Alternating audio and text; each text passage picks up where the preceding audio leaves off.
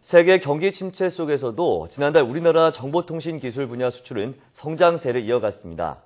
미래창조과학부와 산업통상자원부 자료를 보면 지난달 ICT 수출액은 142억 8천만 달러로 지난해 같은 기간보다 1.7% 증가했습니다. 특히 올해 들어 지난달까지 누적 수출액은 3% 늘어난 981억 달러로 역대 최고 실적을 기록했습니다. 수입액은 5.8% 증가한 71억 5천만 달러로 무역 수지는 71억 3천만 달러 흑자를 나타냈습니다. 지난달에도 휴대전화와 반도체, 디스플레이, 디지털 TV 등 주력 품목을 중심으로 고른 상승세를 보였습니다.